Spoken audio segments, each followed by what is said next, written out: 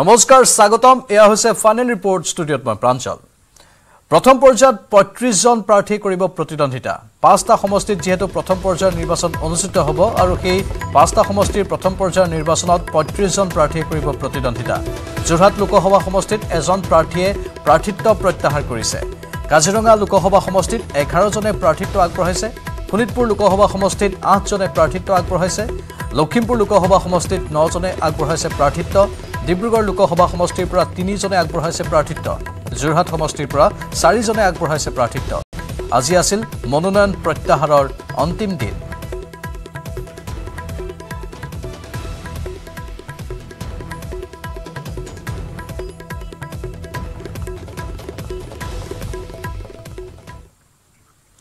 কলিয়াপুৰত ভয়ংকৰ পথ দুৰ্ঘটনাত থিতাতে মৃত্যু হৈছে এজন যুৱকৰ। নলতলী আৰু আমবাগান সংযোগী ৰাজ্যিক ঘাইপথত নিয়ন্ত্ৰণ হেৰুৱাই ডিভাইডাৰত খুন্দা মাৰে বাইক আৰোহীয়ে নিহত যুৱকজনৰ নাম বাবুল মণ্ডল। গুৰুতৰভাৱে আহত উজ্জ্বল চৰকাৰ নামৰ আন এজন যুৱক। আহত যুৱকজনক সংকটজনক অৱস্থাত হস্পিটেলত ভৰ্তি কৰোৱা হৈছে। পথ দুৰ্ঘটনাক কেন্দ্ৰ কৰি কুলিডোঙাত নলতলী আমবাগান সংযোগী ঘাইপথ অৱৰোধ কৰি স্থানীয় ৰাইজে প্ৰতিবাদ সাব্যস্ত কৰে। ৰাজ্যিক ঘাইপথটোত গতিৰোধক দিয়াৰ বাবে দীৰ্ঘদিনে দাবী কৰিছিল যদিও কোনো গুৰুত্ব দিয়া নাছিল বিভাগীয় কৰ্তৃপক্ষই। গতিৰোধক নিদিয়াৰ বাবে সঘনাই দুৰ্ঘটনা সংঘটিত হোৱাৰ অভিযোগ উত্তেজিত ৰাইজৰ। কলিয়াবৰত এয়া ভয়ংকৰ পথ দুৰ্ঘটনাৰ খবৰ য'ত থিতাতে মৃত্যু হ'ল এজন যুৱকৰ। নলতলী আৰু আমবাগান সংযোগী ৰাজ্যিক ঘাইপথত নিয়ন্ত্ৰণ হেৰুৱাই ডিভাইডাৰত খুন্দা মাৰে বাইক আৰোহীয়ে। নিহত যুৱকজনৰ নাম বাবুল মণ্ডল। আনফালে গুৰুতৰভাৱে আহত উজ্জ্বল চৰকাৰ নামৰ আন এজন যুৱক।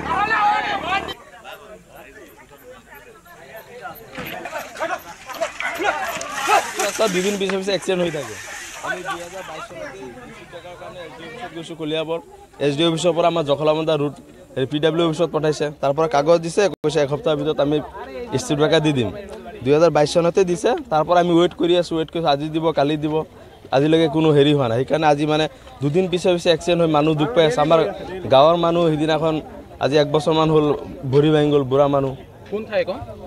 এইখন কুলিডোঙা কুলিডোঙা। আজি কি পুনৰ আকৌ এক্সিডেণ্ট অঁ আজি পুনৰ থিতাতে এজন মানুহ ঢুকাইছে এই লাওখা এতিয়া আপোনালোকে কি পদক্ষেপ লৈছে? এতিয়া আমাৰ মানে ইছ্যু একা লাগে দলঙৰ ইটো চাইডে ইপিনে এটা আৰু সিটো চাইডে এটা। হয় হয়। বিশ্বনাথ চাৰিআলি চহৰৰ মাজমজিয়া পুলিচ পইণ্টত ভয়ংকৰ দুৰ্ঘটনা। ট্ৰাক আৰু মটৰ চাইকেলৰ মাজত সংঘটিত হয় দুৰ্ঘটনা। এই দুৰ্ঘটনাত থিতাতে নিহত মটৰ চাইকেল আৰোহী পুণ্য শইকীয়া। মৃত পুণ্য শইকীয়াৰ ঘৰ গড়েহাগী গাঁৱত। বিশ্বনাথ চাৰিআলিৰ বাইপাছটো বন্ধ কৰি থোৱাৰ বাবেই চহৰৰ মাজত যান বাহনৰ ভিৰ বৃদ্ধি পোৱাৰ ফলত সঘনাই দুৰ্ঘটনা সংঘটিত হ'বলৈ ধৰিছে এই অঞ্চলত। বিশ্বনাথ চাৰিআলি চহৰৰ মাজমজিয়াৰ পুলিচ পইণ্টতেই এইবাৰ ভয়ংকৰ দুৰ্ঘটনা সংঘটিত হ'ল।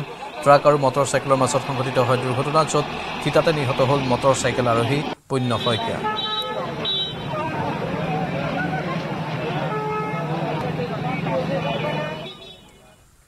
এইবাৰ মাজুলীত খাদ্যত বিষক্ৰিয়াৰ খবৰ। খাদ্যত বিষক্ৰিয়া ঘটি অসুস্থ হ'ল চল্লিছজন লোক। মাজুলীৰ দাৰণী সোণোৱাল গাঁৱত এই ঘটনা সংঘটিত হয়। সকামৰ প্ৰসাদৰ পৰা বিষক্ৰিয়া ঘটাৰ সন্দেহ কৰা হৈছে। আক্ৰান্তসকলক ভৰ্তি কৰোৱা হৈছে হস্পিটেলত। বৰ্তমান আক্ৰান্তসকলৰ স্বাস্থ্যৰ অৱস্থা সুস্থিৰ। খাদ্যত বিষক্ৰিয়াৰ ঘটনা মাজুলীত। বিষক্ৰিয়া ঘটি চল্লিছজনকৈ লোক অসুস্থ হ'ল। তেওঁলোকক বৰ্তমান চিকিৎসালয়ত ভৰ্তি কৰোৱা হৈছে। অৱশ্যে তেওঁলোকৰ স্বাস্থ্যৰ অৱস্থা বৰ্তমান সুস্থিৰ।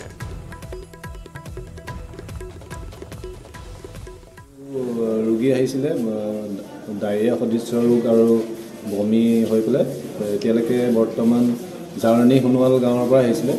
দুই এজন ৰোগী প্ৰসাদ খোৱা ৰাধানী চুকৰ পৰা আছিলে আৰু দুই এজন মৰিটুনিৰ পৰাও আছিলে। মুঠ এতিয়া সৰ্বমুঠ প্ৰায় চল্লিছজনমান চিকিৎসাধীন হ'ল।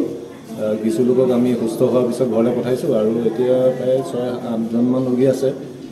দুই এজন ৰোগী আহি আছে কিন্তু এতিয়া বৰ্তমান পৰিস্থিতি ভাললৈ আহিছে আৰু।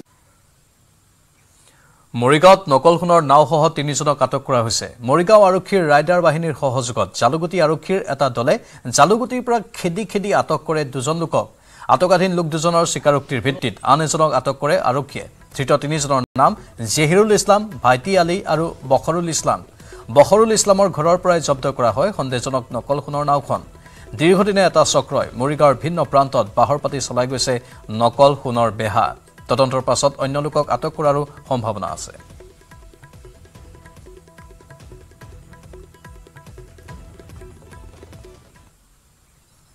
কাইলৈ মাজুলীলৈ যাব মুখ্যমন্ত্ৰী হিমন্ত বিশ্ব শৰ্মা। এক এপ্ৰিলৰ পৰা প্ৰথম পৰ্যায়ৰ নিৰ্বাচনী প্ৰচাৰ চলাব মুখ্যমন্ত্ৰীগৰাকীয়ে। গড়মূৰ মিনি ষ্টেডিয়ামৰ পৰা মাজুলীৰ কৰতিপাৰ পঞ্চায়তলৈকে প্ৰায় তেৰ কিলোমিটাৰ বিশাল চাইকেল ৰেলী কৰি চলাব নিৰ্বাচনী প্ৰচাৰ।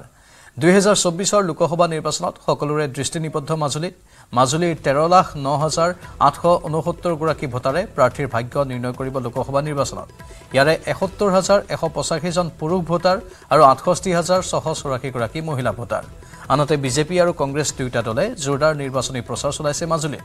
মনোনয়ন পত্ৰ দাখিলৰ পূৰ্বে গৌৰৱ গগৈয়ে মাজুলীত দুদিনীয়াকৈ নিৰ্বাচনী প্ৰচাৰ চলোৱাৰ পাছত একৈছ মাৰ্চত অভিভাৱক মন্ত্ৰী ডাঃ ৰণোজ পেগু আৰু প্ৰদান বৰুৱাই বুথ কমিটি আৰু মিত্ৰ দলৰ সৈতে বৈঠকত মিলিত হৈ নিৰ্বাচনী ৰণনীতিক লৈ আলোচনা কৰে মাজুলীত ইয়াৰ পাছতে বিজেপি প্ৰাৰ্থী তপন গগৈৰ হৈ পীযুষ হাজৰিকাই নিৰ্বাচনী প্ৰচাৰ চলায় মাজুলীত। কমলাবাৰী পাৰঘাটত উপস্থিত হৈ মাজুলী সুৰক্ষাৰ বাবে প্ৰতিশ্ৰুতি দিয়ে এশ কোটি পেকেজৰ ইয়াৰ পাছতে শুকুৰবাৰে দহখন নিৰ্বাচনী সভাত প্ৰচাৰ অভিযান চলায় তপন গগৈয়ে। আনহাতে মাজুলীত কংগ্ৰেছেও চলাইছে নিৰ্বাচনী প্ৰচাৰ। বকুৰ বিধায়িকা নন্দিতা দাস বটদ্ৰৱাৰ বিধায়িকা শিৱামণি বৰাই গৌৰৱ গগৈৰ হৈ মাজুলীত প্ৰচাৰ অভিযান অব্যাহত ৰাখিছে। যোগদান এটা আছে মইতো থাকিব নোৱাৰিম কিন্তু কালিও এটা যোগদান আছে কাৰণ কালি মই মাজুলীত যাম ৰাতি মই মাজুলীত থাকিম। আৰু এক তাৰিখে মোৰ তাতে চাইকেল প্ৰচেছন আছে। দুধনৈৰ পাহিদলত অঘটন। বনকৰ্মীৰ গুলীত আহত হ'ল যুৱক। বন্যহস্তী খেদিবলৈ বনকৰ্মীয়ে গুলীচালনা কৰাত জিতু ৰায় নামৰ এজন যুৱকৰ কঁকালত গুলী লাগি সামান্য পৰিমাণে আঘাতপ্ৰাপ্ত হয়। ইয়াৰ পিছতে ঘটনাস্থলীত কিছু উত্তপ্ত পৰিস্থিতিৰ সৃষ্টি হয়। উল্লেখযোগ্য যে আজি পুৱাৰ পৰা বৃহৎ এজাক বন্যহস্তীয়ে বিচৰণ কৰিছে শিলৰবৰী পাহিদল গাঁৱত। বনকৰ্মীৰ অসাৱধানতাৰ ফলতে এই অঘটনটো সংঘটিত হয়। বৰ্তমানেও হাতীৰ পঁয়ত্ৰিছৰ পৰা চল্লিছজনীয়া এই জাকটোৱে অৱস্থান গ্ৰহণ কৰি আছে পাহিদল কৰকচি শিলৰবৰীৰ সোঁমাজত থকা মুকলি পথাৰত। হাতী চাব আহিছিল নেকি? কি হৈছে? ফৰেষ্টে গুলি মাৰিছিলে? গুলি ক'ত লাগিছে? ফেৰাত। ফেৰাত লাগিছে। তাহাঁতে কি চাই চিতি পেলাই মাৰা নাছিল নেকি গুলিটো? নাই মৰা নাই। দুখ পাইছে এতিয়া? দুখ পাইছোঁ। বিষাই আছে নেকি এতিয়াও? উম, হাতী কিমান মান আছে এতিয়া হাতী বহুত আছে। মানে অপজিট ছাইডৰ পৰা মাৰিছিলে? এতিয়া কি হস্পিটেল যাব নেকি তুমি? হস্পিটেল যাব লাগিব। তিনি এপ্ৰিলত বৰাক উপত্যকালৈ আহিব মুখ্যমন্ত্ৰী হিমন্ত বিশ্ব শৰ্মা। বৰাকৰ দুই লোকসভা সমষ্টিত বিজেপি প্ৰাৰ্থীৰ মনোনয়ন পত্ৰ জমা দিয়াত উপস্থিত থাকিব মুখ্যমন্ত্ৰী। ইয়াৰ পিছতে হাইলাকান্দিত দলীয় কৰ্মীসকলৰ সৈতে এক বৈঠকত মিলিত হ'ব। আজি হাইলাকান্দিত মুখ্যমন্ত্ৰীৰ অনুষ্ঠানৰ প্ৰস্তুতি সভাৰ অন্তত এই কথা জনায় লক্ষীপুৰ সমষ্টিৰ বিধায়ক কৌশিক ৰয়ে। তিনি এপ্ৰিলত পুৱা শিলচৰত বিজেপি প্ৰাৰ্থী পৰিমল শুক্লবৈদ্যৰ সৈতে মনোনয়ন পত্ৰ প্ৰদানত উপস্থিত থাকিব মুখ্যমন্ত্ৰী। ইয়াৰ পিছতে কৰিমগঞ্জত বিজেপি প্ৰাৰ্থী কৃপানাথ মাল্লাৰ মনোনয়ন দাখিলৰ সময়ত উপস্থিত থাকিব। আজিৰ হাইলাকান্দি জিলা বিজেপি কাৰ্যালয়ত হোৱা প্ৰস্তুতি সভাত বিধায়ক কৌশিক ৰায়ৰ সৈতে উপস্থিত আছিল পাথাৰকান্দিৰ বিধায়ক কৃষ্ণেন্দু পাল অনুসূচিত জাতি মৰ্চাৰ ৰাজ্যিক সভানেত্ৰী মুন স্বৰ্ণকাৰ। মুখ্যমন্ত্ৰী ডাঙৰীয়া মানে ফাৰ্ষ্ট টাইম কোনো মুখ্যমন্ত্ৰী আমাৰ প্ৰাৰ্থীৰ নমিনেশ্যনত লগ আহি আছে। শিলচৰ তেওঁ থাকিব শিলচৰ পৰিমল শুক্লবৈদ্য ডাঙৰীয়াৰ নমিনেশ্যনত থাকিব কৃপানাথ মালা ডাঙৰীয়াৰ নমিনেশ্যন কৰিমগঞ্জ থাকিব এবং তেওঁ ইচ্ছা প্ৰকাশ কৰিছে যে আমি হাইলাকান্দি কাৰ্যকৰ্তাবিলাকৰ লগত আমি ইলেকশ্যন ঘোষণাৰ পিছত আমি আহিব পৰা নাই। সেইকাৰণে তেওঁ ইয়াতে আহিব ইয়াত কাৰ্যকৰ্তাৰ লগত ইয়াত লগ ধৰি তেওঁৰ যি অহা ইলেকশ্যনৰ কাৰণে তেওঁ যি কথা সেই কথাবিলাক ৰাখিব। বিয়া সন্দৰ্ভত বিতৰ্কিত মন্তব্য কৰি তীব্ৰ ককৰ্থনা আৰু সমালোচনাৰ সন্মুখীন বদৰুদ্দিন আজমল। আজমলৰ এনে মন্তব্যই সমাজত বিৰূপ প্ৰভাৱ পেলাব বুলি প্ৰতিক্ৰিয়া প্ৰকাশ কৰিছে একাংশ সচেতন লোকে। মৌলানা বুলি দাবী কৰা আজমল প্ৰকৃত মুছলমান নহয় বুলিও ক'ব খুজিছে সংখ্যালঘু কৰ্মী তথা অধিবক্তাই। আজমলে বিয়া পাতিলে আমিও খাবলৈ যাম। ইলেকশ্যনৰ আগতে কইনা লৈ পাতি ল'লে ঠিক আছে। তেতিয়া মাতিলে আমিও যাম। তেওঁ এতিয়াও তিনিখন বিয়া পাতিব পৰা হৈ আছে। আজিও আলহামদুলিল্লাহ মই বিয়াটা বিচাৰি কৰিব পাৰোঁ। কিন্তু বিয়া পাতিলে এতিয়াই পাতক। কাৰণ ইলেকশ্যনৰ পিছত বিয়া পাতিলে ইউ চি চি লাগি যাব। তেওঁ বিয়া এতিয়াই পাতি লওক। ইলেকশ্যনৰ পিছত অসমত ইউ চি চি আহিব তেতিয়া পাতিলে এৰেষ্ট হ'ব। গতিকে ইলেকশ্যনৰ আগতে কইনা লৈ পাতি ল'লে ঠিক আছে। তেতিয়া মাতিলে আমিও যাম। আজমলৰ বিয়াৰ প্ৰসংগই নিৰ্বাচনী বতৰতো দিছে আমোদৰ খোৰাক। ৰকিবুল হুছেইনে বুঢ়া বাঘ বুলি কোৱাত জাঙুৰ খাই উঠা আজমলে কৈছিল মই বুঢ়া বাঘ নহয় মোৰ এতিয়াও বিয়া পাতিব পৰা বল আছে। ৰকিবুল হুছেইন কৈছে আপুনি বুঢ়া মান মই ইমানটো বুঢ়া হোৱা নাই। আজিও মই বিয়াটা বিচাৰি কৰিব পাৰোঁ। আজিও মই বিয়াটা বিচাৰি কৰিব পাৰোঁ। আজমলৰ এই মন্তব্যৰ পিছতে মুখ্যমন্ত্ৰী হিমন্ত বিশ্ব শৰ্মাই আজমলক এইদৰে কৰে কটাক্ষ। মই যিমান দূৰ জানো তেখেতৰ এগৰাকীয়ে পত্নী আছে। আজি দুগৰাকী তিনিগৰাকীও তেওঁ বিয়া কৰাব পাৰে। কিন্তু ইলেকশ্যনৰ ঠিক পিছতেই আমি বহু বিবাহ বন্ধ কৰিম। মুখ্যমন্ত্ৰীয়ে স্পষ্ট কৰি দিলে নিৰ্বাচনৰ পিছতে আহি আছে U C C. U C C আহিলেই নিষিদ্ধ হ'ব বহু বিবাহ গতিকে ইলেকশ্যনৰ পিছত বিয়া পাতিলে আইনৰ ৰোষত পৰিব আজমল। তাৰ গোটেই প্ৰস্তুতি সম্পূৰ্ণ। গতিকে যদি বিয়া কৰে একেদিনাই কৰক আমাকো মাতক খাটিব খাব আজিলৈকে লিগেল হৈ আছে। কিন্তু ইলেকশ্যনৰ পিছত ইলিগেল আৰু আজমলে কৈছিল মই বিয়া পাতিলে মুখ্যমন্ত্ৰীয়েও মোক বাধা দিব নোৱাৰে। আজমলৰ এই মন্তব্যৰো উত্তৰ দিলে মুখ্যমন্ত্ৰীয়ে। মই বাধা কৰিলেও বুলিতো নহয় মইতো কাকো বাধা নকৰোঁ আইনেহে বাধা কৰিব। আৰু আইনে বাধা কৰা কাম এটা জোৰ জবস্তি কৰিলে আইনে ব্যৱস্থা ল'ব। We are considering both but we are ৱেইটিং for some issues to be resolved so' all these will be resolved after the parliamentary election ইপিনে আজমলৰ মন্তব্যত মুছলমান মহিলাৰ মাজতো সৃষ্টি হৈছে তীব্ৰ প্ৰতিক্ৰিয়াৰ বদৰুদ্দিন আজমল য়েজিদৰ বংশধৰ ৰুচুলৰ বংশৰ নহয়। পুনৰ বিবাহক লৈ আজমলে কৰা মন্তব্যৰ বাবে গ্ৰেপ্তাৰৰ দাবী জনালে অধিবক্তা চাহিবা আহমেদে। বদৰুদ্দিন আজমলক এক শ্ৰেণী আমাৰ নিচিনা মানুহে আমি তেওঁক হুজুৰ বুলি নামানো। আমি এজিদৰ বংশ বুলিয়ে কৈছোঁ তেওঁক সেইটো তেওঁ বুজি পাব এজিদ মানে কি? সেইটো বেলেগে বুজি পাওক নাপাওক মই তেওঁক এজিদ এজিদৰ বংশ বুলি কৈছোঁ। বিয়া মানে কামনা নহয় নেকি? তেওঁ ভাবিছে তেওঁ সেইটো শক্তিয়ে ডাঙৰ শক্তি। মানে তেওঁ এতিয়াও মানে বাচ্ছা জন্ম দিব পাৰিব। আৰু তেওঁ কি কথা কৈছে তেওঁ নিজেই নাজানে। তেওঁ ইমান এটা অপৰাধমূলক কথা কৈছে নিয়মমতে তেওঁক নিজ জেলত ভৰাব লাগে। আজমলৰ এই মন্তব্যত প্ৰচণ্ড ক্ষোভ উজাৰি অধিবক্তা চাহিবা আহমেদে ক'লে আজমলৰ কামনা বাসনা এতিয়াও আছে। যাৰ বাবে পুনৰ বিবাহৰ কথা কৈছে আজমলে। ধৰ্মৰ নামত আজমলে সমাজত ব্যৱসায় চলোৱাৰ অভিযোগ তুলি অধিবক্তা চাহিবা আহমেদে কয় যে মৌলানা বুলি দাবী কৰা আজমল প্ৰকৃততে এজন কাফিৰহে মোৰ মতেতো মুছলমানেই নহয় ন এজন মুছলমান মমিন বান্দা হ'বৰ কাৰণে লোভ মোহ কাম ক্ৰোধ ত্যাগ হ'ব লাগিব। তেওঁ জানো মমিন বান্দা তেওঁ মুছলমানে তেওঁৱেইতো কাফিৰ। উল্লেখযোগ্য যে নিৰ্বাচনত কি হয় সেয়া কেইদিনমান পাছতেই গম পোৱা যাব। কিন্তু আজমলৰ বিয়া খাম বুলি আশা পালি থকা মুখ্যমন্ত্ৰীৰ মনৰ আশা পূৰণ হ'ব জানো? আজমলে মুখ্যমন্ত্ৰীৰ আশা পূৰণ কৰিব জানো? Bureau' report News Eighteen Assam North East. এদিন ৰাজীৱ ভৱনত খুলিব বিজেপিৰ শাখা কাৰ্যালয়।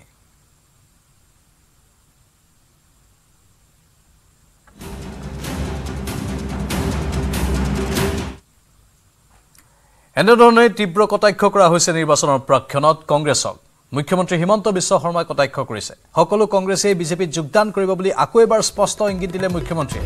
সকলো কংগ্ৰেছেই বিজেপিত যোগদান কৰিলে খালী হ'ব ৰাজীৱ ভৱন। তেতিয়া ৰাজীৱ ভৱনৰ বিজেপিৰ শাখা কাৰ্যালয় হ'ব বুলি তীৰ্যক মন্তব্য কৰিছে মুখ্যমন্ত্ৰীয়ে। আজি বাজপেয়ী ভৱনত এক গুৰুত্বপূৰ্ণ বৈঠকত অংশগ্ৰহণ কৰি সাংবাদিকৰ আগত এক প্ৰকাৰ কংগ্ৰেছক অস্তিত্বহীন কৰি তুলিলে মুখ্যমন্ত্ৰীয়ে। উল্লেখযোগ্য যে বিগত কিছুদিন ধৰি মুখ্যমন্ত্ৰীয়ে এজনক বাদ দি সকলো কংগ্ৰেছীয়েই বিজেপিত যোগদান কৰিব বুলি মন্তব্য কৰি আহিছে। আৰু সেই কথা সত্য প্ৰমাণিত কৰি ইজনৰ পিছত সিজন নেতাই পৰিধান কৰিছে গেৰুৱা বসন আমি বহিমগৈ ৰাজীৱ ভৱনত চব। বিজেপিৰ ব্ৰাঞ্চ এটা খুলি দিম তাতে। মহানগৰ জিলা ভাৰতীয় জনতা পাৰ্টি টাইপ কিবা এটা কৰি দিম আৰু।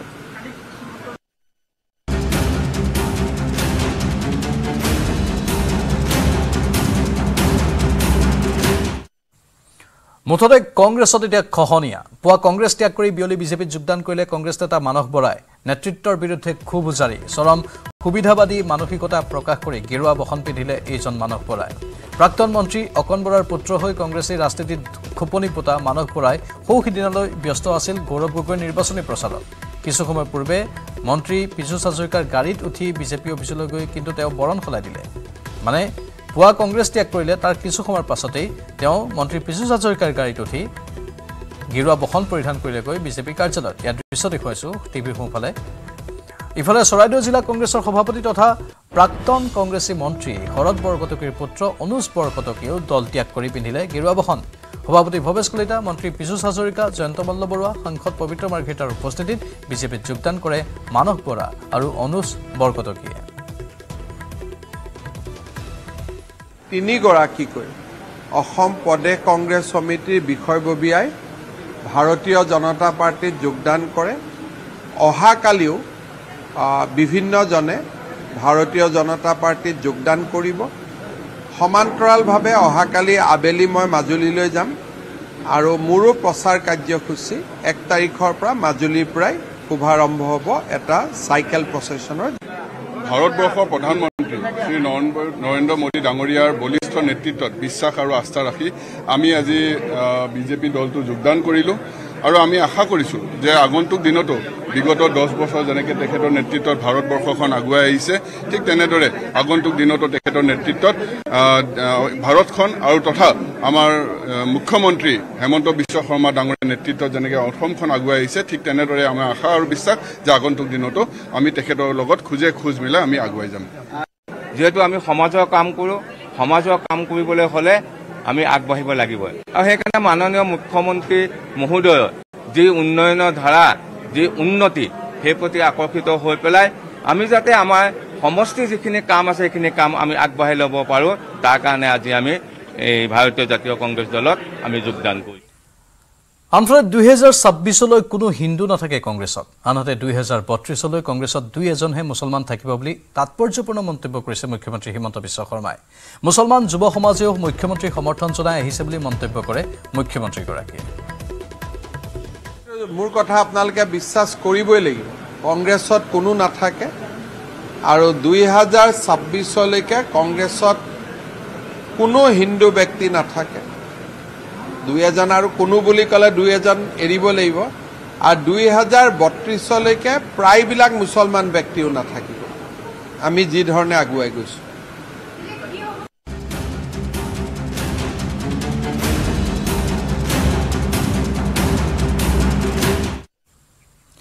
নিৰ্বাচনী গৰম ৰাজনীতি বা পৰিৱেশৰ মাজতেই ক্ৰমাৎ চক্ৰবেহুত যেন সোমাই পৰিছে যোৰহাটৰ কংগ্ৰেছ প্ৰাৰ্থী গৌৰৱ গগৈ।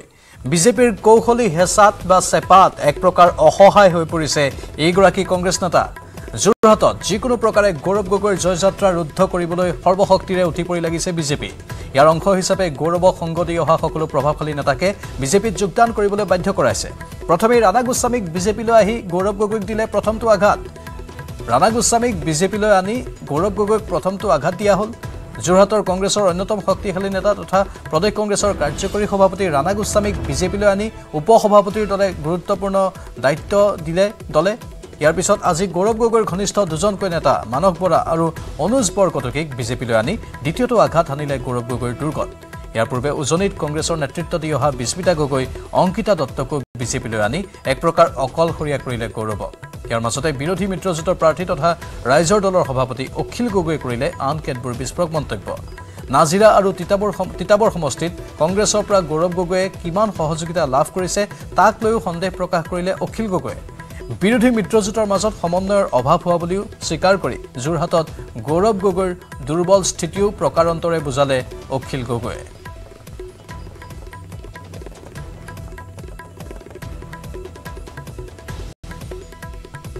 ইফালে মুখ্যমন্ত্ৰী হিমন্ত বিশ্ব শৰ্মাই গৌৰৱ গগৈক কৰিলে তীব্ৰ কটাক্ষ। যোৰহাটৰ কংগ্ৰেছৰ ফুটবলত হাৱা নাই বুলিও ক'লে মুখ্যমন্ত্ৰীয়ে। গৌৰৱৰ সোঁহাত বাওঁহাত দুয়োজনেই বিজেপিলৈ আহিল বুলি মন্তব্য কৰি মুখ্যমন্ত্ৰীয়ে কয় যে তিনি গগৈৰ ভিতৰত কোনে কাক লেং ধৰিব নোৱাৰি। যোৰহাটক লৈ আপোনালোক আৰু এটা মহলে ইয়াত হাৱা বনাই আছে। কিন্তু হাৱাটো গ্ৰাউণ্ডত নাইতো ফুটবলত পাম নাই। আপোনালোকে কৈ আছে এইটো আছে আছে বুলি। এইটো আপোনালোকৰ মানে এইটো এটা কি এছেছমেণ্ট নাজানো। এই দুইজন ব্যক্তিয়েতো সোঁহাত বাওঁহাত আছিলে। যদি জিকা পৰ্যায়ত থাকিলেহেঁতেন দুইজনে এৰি আহিলেহেঁতেন নেকি আজি মই জিকিম।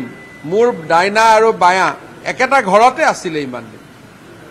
তেওঁ দলটো এৰি আহিব নেকি? তাৰমানে দেখি বুজি পাইছে যে ইয়াত জিকাৰ কোনো সম্ভাৱনা নাই। শুভেচ্ছা থাকিলে। তপন গগৈও কৈছে মই জিকিলো এতিয়া আপোনালোকে কাক বিশ্বাস কৰিব? এইটো আপোনালোকৰ প্ৰশ্ন মইতো কাকো নকওঁ আল্টিমেটলিটো ই ভি এমে কৰিব। গতিকে যোনেই জিকিম বুলি কয় তাকেই মোৰ শুভেচ্ছা। বাকীটোতো আমি বিজেপিক জিকাব চেষ্টা কৰিব লাগিব।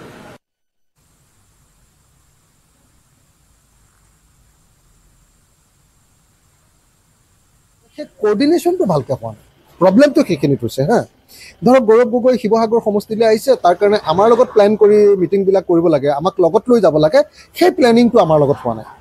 মানে কৰ্ডিনেশ্যনটো ভালকৈ নোহোৱাৰ কাৰণে আমি কামবিলাক আগবাঢ়িব পৰা নাই। মানে আমি ৰাইজৰ দলে যিমান সক্ৰিয়তাৰে কামবিলাক কৰিছোঁ সেইমতে হয়তো কংগ্ৰেছ দলে কিমান কৰিছে আমি নাজানো। গতিকে আমাৰ লগত যোগাযোগবিলাক নাই ক'ত কেনেকৈ যাব লাগে ক'ত আমি কাম কৰিব লাগে ক'ত একেলগতে যাব লাগে গৌৰৱ গগৈৰ লগত গোটেই সমষ্টিটোত গোটেই যোৰহাট লোকসভা সমষ্টিটোত মই থকা হ'লে হয়তো ভাল আছিলে। সেই যিটো কৰ্ডিনেশ্যন থাকিব লাগে সেইবিলাক কৰা নাই। সেই অসুবিধা কেইটামান পাই আছোঁ। শিৱসাগৰত কি ধৰণে মানে শিৱসাগৰ বিধানসভা সমষ্টিত মই জেইলত থাকোঁতে মোক পোন্ধৰ হাজাৰ ভোটত শিৱসাগৰৰ ৰাইজে জয়ী কৰাইছিল। তাৰমানে সচেতন ভোটাৰ নহ'লেতো কোনো পধ্যে জেইলত থকা মানুহজনকতো ভোটত নিজিকায়। আৰু মইতো ইয়াৰ মানুহো নহয় শিৱসাগৰৰ মানুহো নহয়। মই যোৰহাটৰ পৰা আহি শিৱসাগৰত নিৰ্বাচনত উঠিছোঁ। আৰু শিৱসাগৰৰ ৰাইজে মোক পোন্ধৰ হাজাৰ ভোটত জিকাইছে। তাৰমানে শিৱসাগৰৰ ৰাইজ ৰাজনৈতিকভাৱে কিমান সচেতন ব্যক্তি সকলোৱে জানে। যিহেতু মোক জেইলত থাকোঁতে পোন্ধৰ হাজাৰ ভোটত জিকাইছে সেইকাৰণে মই আশা কৰিছোঁ যে কমেও গৌৰৱ গগৈক আমি ত্ৰিছ হাজাৰ ভোটত লিড দিব পাৰে। ইফালে বিহু কমিটিৰ অনুদানক লৈ মুখ্যমন্ত্ৰীয়ে ঘোষণা কৰিছে নিৰ্বাচন আয়োগক অনুৰোধ জনাব অনুদানৰ বিষয়ে। অনুমতি দিলে বিহুৰ পূৰ্বে দিব অনুদানসমূহ। নিৰ্বাচন আয়োগক এই সম্পৰ্কত আহ্বান জনাইছে চৰকাৰে। অনুমতি নিদিলে নিৰ্বাচনৰ পিছতহে দিব অনুদানসমূহ। সেই কথাও ক'লে মুখ্যমন্ত্ৰীয়ে। আমি নিৰ্বাচনী আয়োগলৈকে প্ৰস্তাৱ দিছোঁ যে আমাক টকাটো দিবৰ কাৰণে অনুমতি দিয়ক। এইটো যিহেতু কণ্টিনিউৱাছ স্কীম কিবা কাৰণত যদি নিৰ্বাচনী আয়োগে আমাক নিদিয়ে তেতিয়াহ'লে মডেল কোডৰ পিছত দি দিম মোৰ ধাৰ হৈ থাকিব। কাৰোবাৰ পৰা ডেৰ লাখ টকা ধাৰ লৈ চলাব ইলেকশ্যনৰ পিছত মই ধাৰটো মাৰি দিম। যদি আগত অনুমতি দিয়ে দহ তাৰিখে দি দিম আৰু যদি নিদিয়ে ইলেকশ্যনৰ পিছত দি দিম। সেইটো ধাৰ হিচাপত মোৰ নামত একাউণ্টত থাকিব আৰু যে ক্ৰেডিট হিমন্ত বিশ্ব শৰ্মা ডেৰ লাখ। ঘূৰাই দিম। গতিকে ক'তো একো সমস্যা নহয়। বিজেপিৰ বশিষ্ঠৰ মুখ্য কাৰ্যালয়ত হঠাৎ উপস্থিত কংগ্ৰেছৰ বিধায়ক কমলাক্ষ দেৱপ্ৰকাশ বাজপেয়ী ভৱনত মুখ্যমন্ত্ৰীক সাক্ষাৎ কৰিবলৈ আহিল বিধায়কগৰাকী। কংগ্ৰেছত থাকিয়েই বিজেপিক সমৰ্থন কৰাৰ পিছতে আজি হঠাৎ বাজপেয়ী ভৱনত যোগদান অনুষ্ঠানত উপস্থিত হয় বিধায়কগৰাকী।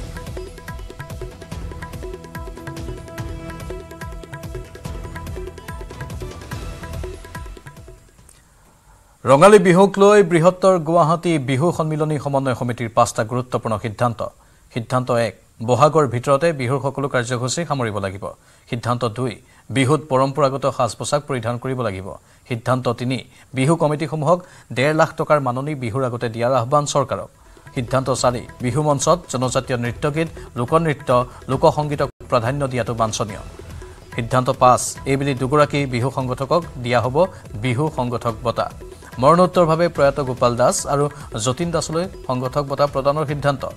সিদ্ধান্ত ছয়। থলুৱা আৰু পুৰণি শিল্পীসকলক গুৰুত্ব দিবলৈ আহ্বান। শিল্পীসকলক অত্যধিক মাননি নল'বলৈও আহ্বান বৃহত্তৰ গুৱাহাটী বিহু সন্মিলনী সমন্বয় সমিতিত গুৱাহাটী মহানগৰীৰ সৰ্বমুঠ আঠত্ৰিছখন বিহু সমিতি জড়িত আছে এই সন্মিলনীত। আমি কৈছোঁ যে যিটো উৎসৱৰ কাৰ্যসূচীৰ সামৰণি উইদিন ওৱান মান্থৰ ভিতৰত আগতে যেনেকৈ আপোনালোকে নিশ্চয় দেখিছিলে যে বহাগ পাৰ জেঠ জেঠৰ পিছত আহে সেইটো মানে আমি যোৱাবাৰৰ পৰা কমিছে এইবাৰ আৰু সম্ভৱ নিশ্চয় নোহোৱা বাৰটাৰ পিছত আমাক সমাপ্ত কৰিব দিয়ে যদিও কিন্তু আমাৰ যিহেতুকে কম্পিটিশ্যন প্ৰায়বিলাকৰে থাকে সেই কম্পিটিশ্যনৰ দিনাখন আমাৰ অলপ প্ৰব্লেম হয়। সেইদিনাখন ধৰক আমাৰ আইন শৃংখলাজনিত কাৰণত কয় যদিও আমি এইখিনি মেইনটেইন কৰোঁ। আমাৰ বিহুখন এইখন বিহুত এইখন বিহুত পঁয়ত্ৰিছটাতকৈ অধিক বিহু বিষয়ক কম্পিটিশ্যনৰ আমি প্ৰাইজ মানি দিওঁ আমি বিহুক প্ৰমোট কৰিবলৈ চেষ্টা কৰিছোঁ আৰু আমি মানে বিয়াগম শিল্পীক আমি আমন্ত্ৰণ কৰিবলৈ চেষ্টা কৰা নাই। কিন্তু আমাৰ এই মঞ্চত উদীয়মান শিল্পীৰ পৰা আৰম্ভ কৰি প্ৰবীণ শিল্পীলৈকে এই মঞ্চখনত আমি সুযোগ দিছোঁ। বাইহাটা চাৰিআলিত বাঘৰ সন্ত্ৰাস এটি নাহৰপুতুকী বাঘে সন্ত্ৰাস সৃষ্টি কৰিছে বাইহাটা চাৰিআলিৰ মাজগাঁৱত। জনবসতি অঞ্চলত বাঘৰ উপস্থিতিয়ে শংকিত কৰিছে গাঁওবাসীক যাৰ ফলত নিশা বাঘ বিচাৰি লাঠি জোং লৈ ওলাই আহিছে ৰাইজ। এয়া বাইহাটা চাৰিআলিৰ দৃশ্য দেখুৱাই আছো। বাঘে সন্ত্ৰাস লীলা চলাইছে তাত। এটি নাহৰপুতুকী বাঘে আতংকৰ সৃষ্টি কৰিছে। বাইহাটা চাৰিআলিৰ মাজগাঁৱত জনবসতিপূৰ্ণ অঞ্চলত বাঘৰ উপস্থিতিয়ে শংকিত কৰিছে গাঁওবাসীক যাৰ ফলত নিশা বাঘ বিচাৰি লাঠি জোংলৈ ওলাই আহিছে এইসকল লোক। পাকঘৰত কিবা এটা মানে পাচলি কাটি আছে। তাৰপিছত ক'লা যে হেৰি মোক মাতিব গ'ল। মাতিব যায় কৈছে যে হেৰি এই কিবা দেখোন হোটেলছি দেখোন মানুহ উঠোৱা দি আছে তাৰপিছত মই এনেকৈ যাই টচ মাৰি চাই চিটি ক'তো একো নাই তাৰপৰা আকৌ আমাৰ ইহঁতে আকৌ দেখা পালা যে চকুৰ যিটো পাৱাৰ সেই জ্বলি উঠছি সেইটো বস্তু দেখা পালা মই যাই এই মানে একটাত ডিফাৰেঞ্চ নাই আৰু টচটো মাৰি দিওঁতে পূৰা ঘুমাই আছে আৰু এইখিনিয়ে আৰু তাৰে কিছু মুহূৰ্তৰ পিছত গুচি গ'ল অৱশেষত দিছপুৰ আৰক্ষীৰ জালত পৰিল মহাপ্ৰবঞ্চক ৰিকু আলী খান। ছ'চিয়েল মিডিয়াত পত্নীৰ গোপন ফটো ভাইৰেল কৰিছিল লম্পট ৰিকু আলীয়ে। ধনৰ লোভত পত্নীক প্ৰবঞ্চনা কৰা ৰিকুক সোণাৰীৰ পৰা গ্ৰেপ্তাৰ কৰে দিছপুৰ আৰক্ষীয়ে।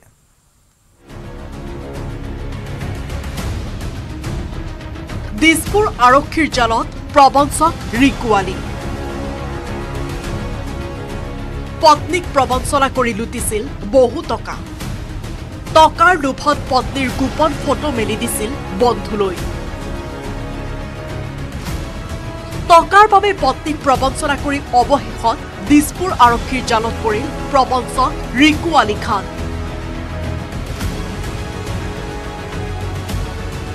এইগৰাকী যুৱতীক টকাৰ লোভত বিয়া কৰাই পৰৱৰ্তী সময়ত ভয়ংকৰ প্ৰবঞ্চনা কৰিছিল ৰিকুৱে। ইমানেই নহয় ছচিয়েল মিডিয়াত পত্নীৰ গোপন ফটো ভাইৰেল কৰিছিল স্বামীৰূপী প্ৰবঞ্চকটোৱে টকাৰ বিনিময়ত পত্নীৰ ফটো অন্য যুৱকলৈ প্ৰেৰণৰ ভয়ংকৰ অভিযোগ কৰিছিল পত্নীয়ে ফেচবুক ইনষ্টাগ্ৰামত সকলো ফটো ভাইৰেল কৰিছিল অভিযুক্ত ৰিকুৱে লগতে প্ৰবঞ্চকটোৰ বিৰুদ্ধে শাৰীৰিক মানসিক নিৰ্যাতনৰ অভিযোগ কৰিছিল পত্নীয়ে তেওঁ পলাই ফুৰিছিলে আৰু অপেন কিন্তু ঘৰতে আছিলে। আৰু মই এখেতসকল মানে মোৰ মানে চিনাকি তেওঁলোকেও বহুত হেল্প কৰিছে দাদা সংঘৰ। কাৰণ মই যিখিনি ভুক্তভোগীছোঁ মই জানো অকল। আৰু মোক জাষ্টিচ দিব মই সেইটোৱে মানে বিচাৰিছোঁ আৰু। দীৰ্ঘদিনে পলাতক হৈ থকা ৰিকুক শুকুৰবাৰে সোণাৰীৰ পৰা গ্ৰেপ্তাৰ কৰে দিছপুৰ আৰক্ষীয়ে। ৰিকুৰ বিৰুদ্ধে আৰক্ষীয়ে লোৱা ব্যৱস্থাক শলাগ ল'লে মহিলাগৰাকীয়ে। মই অশেষ ধন্যবাদ জনাইছোঁ দিছপুৰ থানা আৰক্ষীলৈ। দিছপুৰ আৰক্ষীয়ে আদালতত হাজিৰ কৰোৱাই জিম্মাক লৈ ঘটনাক লৈ কৰিব জেৰা। সকলোৰে দাবী দৃষ্টান্তমূলক শাস্তি হওক ৰিকুৱালীৰ।